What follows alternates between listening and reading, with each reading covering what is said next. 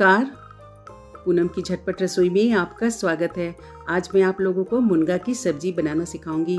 जी हाँ दोस्तों, मुनगा के बहुत सारे फ़ायदे हैं। ये हमारे शरीर के लिए बहुत ही लाभदायक है और बहुत सी बीमारियों को ये दूर भी करता है। तो चलिए बनाना शुरू करते हैं। और ये देखिए, मैं अपने बागान में आ चुकी हूँ और मुनगे को मैं इस तरीके से तोड़ रही हूँ। ये देखिए, मैंने इस तरीके से तोड़ लिया है और चलिए अब सब्ज़ी बनाना शुरू करते हैं। ये जो हमारा मुनगा है, थोड़ा ये मोटा हो चुका है, इसलिए इसमें रेसा आ गया है।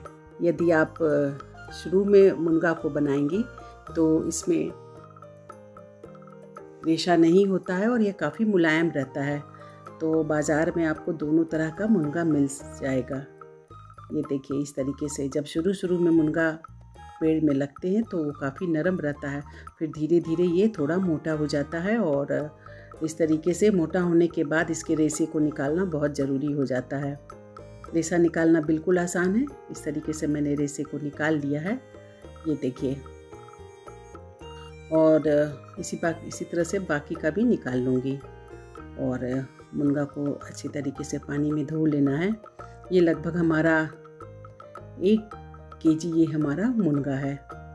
दोस्तों, मुनगा को बहुत लोग सहजन सुट्टी भी के नाम से भी जानते हैं। भिन्न भिन्न प्रदेशों में भिन्न भिन्न नामों से पुकारा जाता है।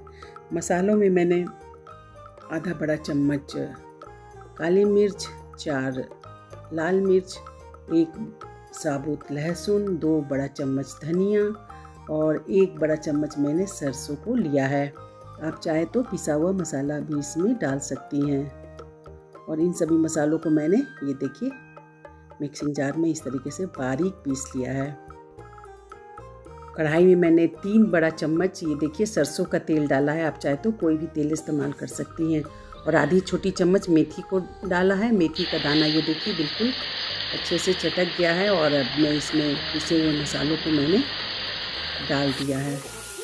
और मसालों को बहुत बारीक पीसे तो आपकी जो सब्ज़ी है, बहुत अच्छी बनेगी। और इन मसालों को अच्छे से चलाना है और इसमें मैंने डेढ़ छोटी चम्मच नमक को डाल दिया है।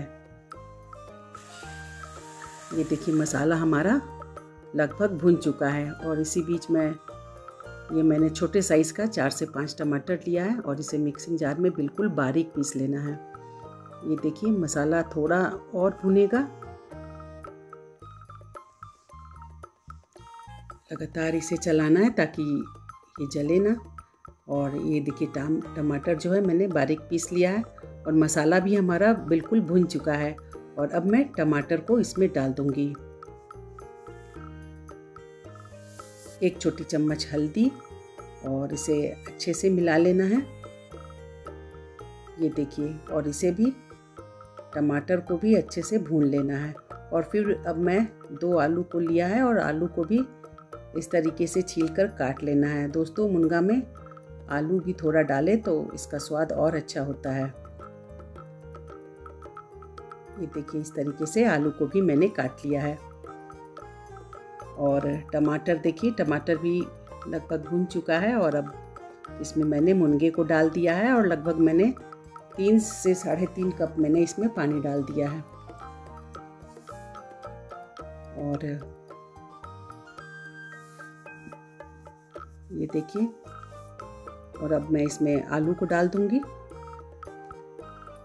आप चाहे तो आलू को नहीं भी डाल सकती हैं। और इसे ढककर सात से आठ मिनट पकाऊँगी। सात से आठ मिनट हो चुका है। ये देखिए दोस्तों, सब्ज़ी लगभग पक गया है। चेक कर लेते हैं। ये देखिए, पक गया है, लेकिन फिर से ढककर इसे मैं दो से तीन मिनट और पकाऊँगी। और आलू को भी चेक कर लेते हैं। ये देखिए, आलू भी बिल्कुल गल चुका है। और ये हमारा मुनगा का सब्ज़ी बनकर बिल्कुल तैयार है। जी हाँ दोस्तों, मुनगा करी बनकर बिल्कुल तैयार है। और थोड़ा हरा धनिया भी मैंने डाल दिया है। ये देखिए, खाने में लाजवाब। तो आपको ये रेसिपी कैसी लगी आप हमें ज़रूर बताएँ। यदि आपको अच्छा लगे तो आप इसे लाइक और शेयर ज़रूर करें। और यदि अभी तक आपने हमारे चैनल को सब्सक्राइब नहीं किया है तो इसे सब्सक्राइब ज़रूर करें। Thanks for watching my video.